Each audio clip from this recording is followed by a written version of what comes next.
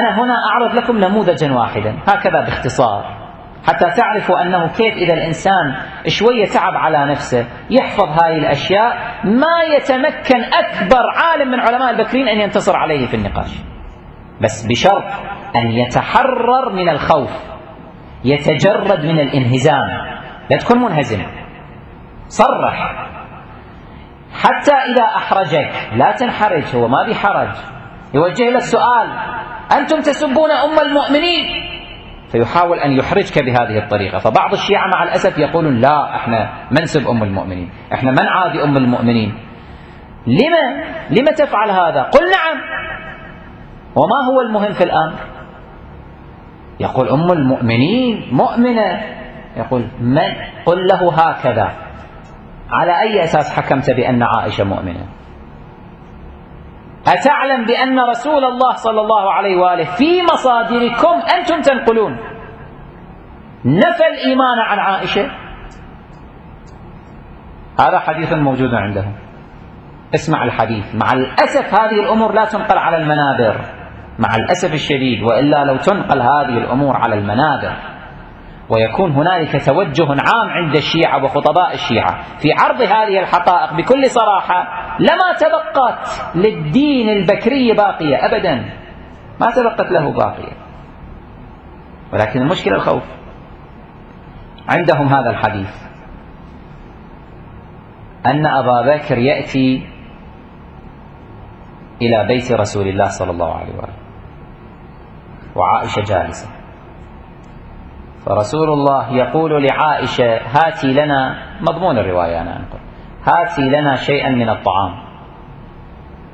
فترد عليه عائشة قائلة والله يا رسول الله ليس عندنا شيء من الطعام.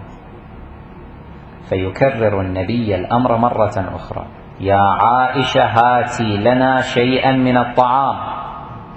فتكرر المرأة نفس القول والله ما عندنا شيء من طعام. فيضطر رسول الله لأن يكرر الأمر للمرة الثالثة. وعائشة ترد بنفس الجواب. فهنا أبو بكر يتأثر بأنها ابنته فيقول يا رسول الله إن المرأة المؤمنة دقق إن المرأة المؤمنة إذا حلفت فإنها لا تحلف على باطل. وهذه امرأة مؤمنة ابنتي مؤمنة حلفت ما عندك ما عندها شيء من الطعام. لما تكرر عليها هذا القول؟ فرسول الله صلى الله عليه وآله هنا ماذا يقول؟ يقول وما يدريك أنها مؤمنة. وما يدريك أنها مؤمنة. رسول الله هو يعلم أنه أكو طعام في البيت لكن عائشة تريد أن تؤذي رسول الله. هذا هو. هذا حديث موجود عنده. رسول الله بالصراحة يقول لأبي بكر وما يدريك أنها مؤمنة؟ يدريك أنها مؤمنة؟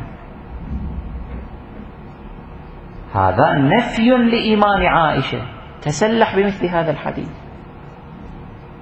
أم المؤمنين هي نفسها ليست بمؤمنة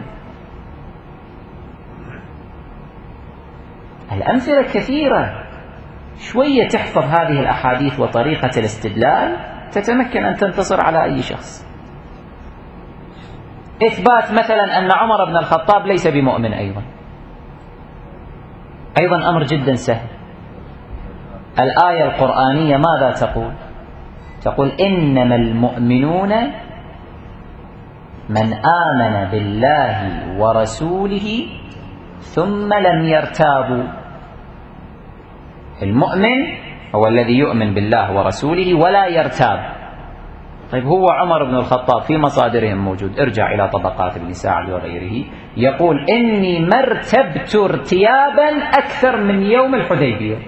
شككت ارتبت في نبوة رسول الله في الإسلام. أنه هل الإسلام صحيح أم لا؟ أم هذا من اختراع محمد بن عبد الله؟ مو أنه دين نزل من السماء. هو يصرح يقول أنا ارتبت. طبق الآية الكريمة. على قوله هذا باعترافه يصبح ماذا؟ مؤمنا أم لا؟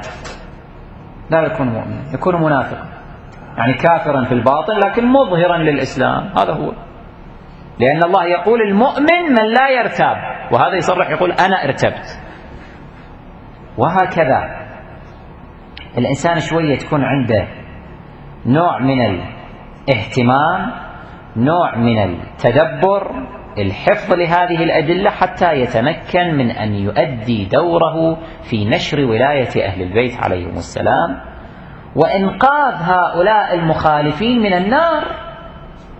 أن تقول للمخالف هذا القول أنه أنا أحبك أنا أريد لك الخير. ولأنني أريد لك الخير فإنني لا أريد أن أجاملك. وإنما أريد أن أعرض لك الحقيقة بما هي هي وأقدم لك الحقائق كما هي وإن كانت مؤلمة لأنني أريد أن أرفع عن عينيك هذه الغشاوة. أريدك أن تتبصر بالحق. لا أريدك أن تبقى هكذا فتذهب إلى النار. لا أريدك أن تذهب معي إلى الجنة. والجنة لا يمكن أن يدخلها غير الملتزم بولاية أهل البيت صلوات الله عليه.